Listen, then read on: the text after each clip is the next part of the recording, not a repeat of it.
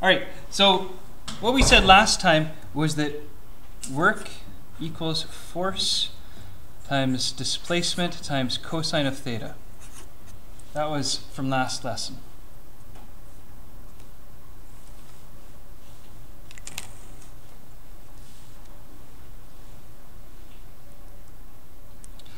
And I would like to, uh, I'd like to analyze a mass.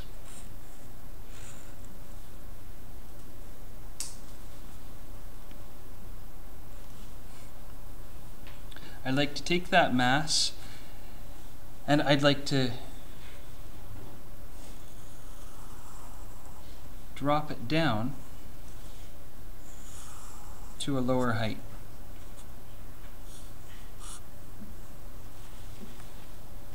But before I start talking about how much energy it would get if it dropped down to a lower height, I gotta have some methods for how to get that energy.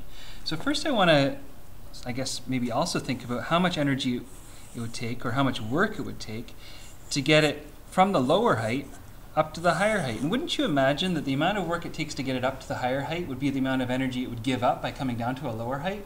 I mean, it's kind of assuming that gravity works the, the same both ways, right? The amount of, amount of energy it takes me to lift it up here is going to be the amount of energy it, take, it, it gives up when it falls from up here down to the ground. It's the same amount of energy. Because we're starting out with Eg here, and it's going to become what kind of energy down here? Whereas here, I'd have to use some sort of work to gain Eg. Okay? So let's talk about how much work it takes to lift an object up to a height.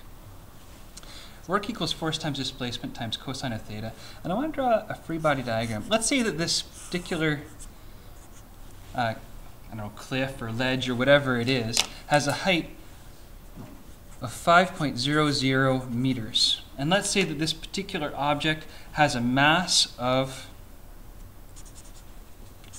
15.0 kilograms.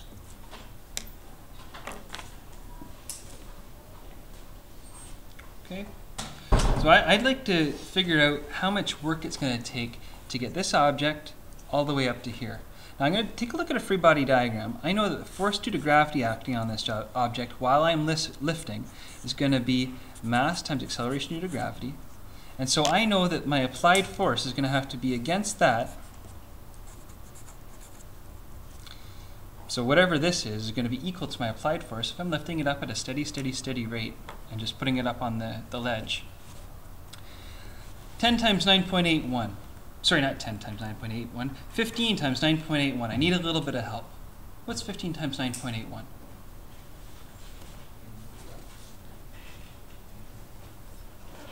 Is it 147.15? Yeah.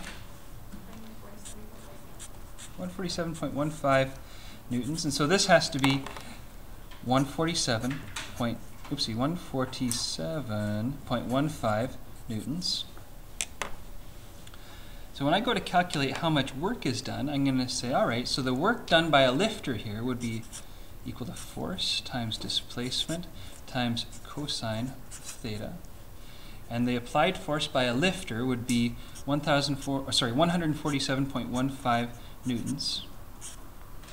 The displacement, according, according to our diagram, would be 5.00 meters. What about this theta? Remember, I got a displacement that's upwards, and I have an applied force that's also upwards. What's the angle between those two vectors? Yeah? Um, the angle is 0. Yeah. And the cosine of 0 is 1.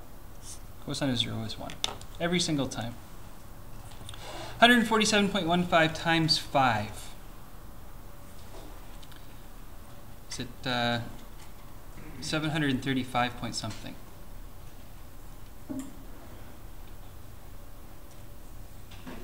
What do you get?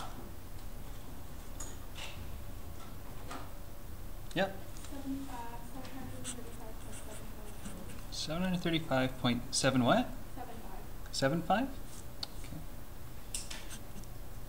7 5. Newton meters, and Newton meters is, is equivalent to a joule.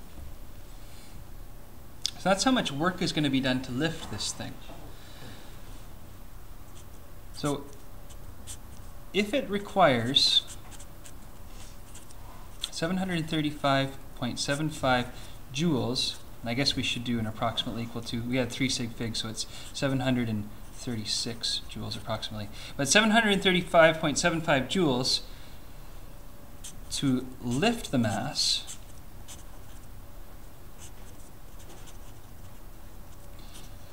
How much energy does it have if it falls back off the ledge down to the ground?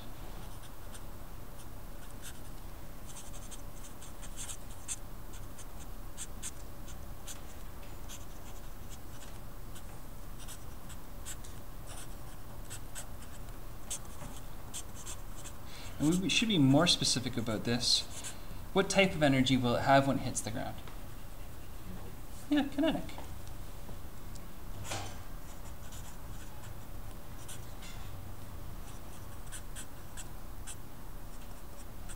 So specifically, the type of energy it'll have when it hits the ground is kinetic energy. Is there anybody that could probably tell me that just by looking at this question? How much kinetic energy will it have when it falls back down off the ledge and hits the ground? People whispering. What is it? Come on, I, I saw you mouth it and I heard somebody whisper it. Yep, you got it. EK. You know what? We could even say EK at the bottom is equal to 735.75 joules if it falls. So all that gravitational potential energy gets converted right back into kinetic energy. Conservation of energy, really. We said before, once upon a time, we said that energy can't be created or destroyed. You can just change it into different forms. And so we use work energy, which might be like our muscle energy, and we gave this thing energy from our muscles, lifting it.